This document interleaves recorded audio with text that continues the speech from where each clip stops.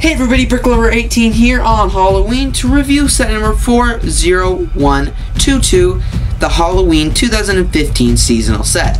This set is ages 7 plus and has 133 pieces. As you can see, this set comes with a little vignette, a tree, and two LEGO minifigures. First up is the Trick-or-Treater minifigure. As you can see, this trick-or-treater has gone as a witch for Halloween.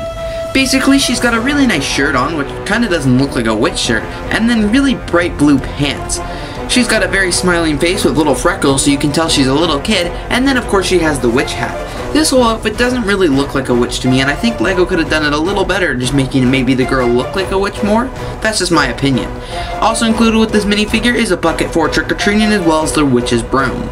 So the next minifigure, the last minifigure in the set, is the skeleton. So there's not really much to say about the skeleton, except it basically doesn't even look like Lego pieces, really, until you get to the head, just because it's so unique to this, you know, theme, to the set. There's not many skeletons in city sets.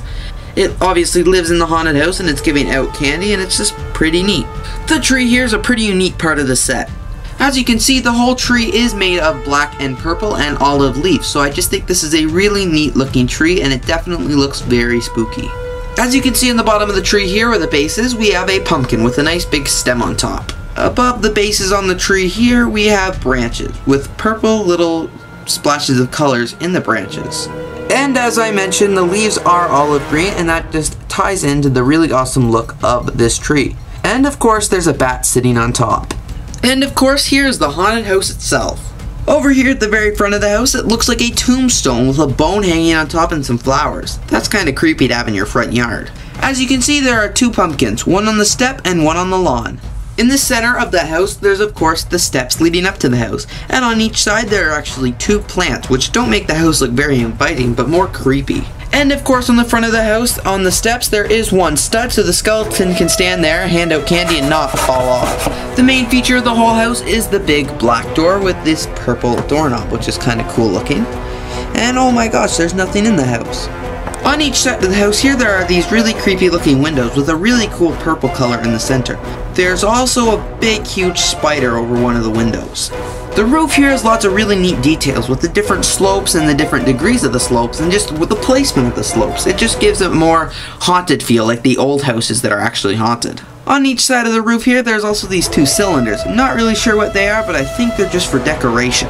On the side of the house here you can just kind of see the small house and the different colors that are used making this build. There's nothing too special at the back of the house here. You can just see the door opens up and then there's a little ledge here and a little ledge here with a piece of ice cream on it. Looks of the box here, that piece of ice cream is actually supposed to be candy, and that's what the skeleton's handing out to the girl.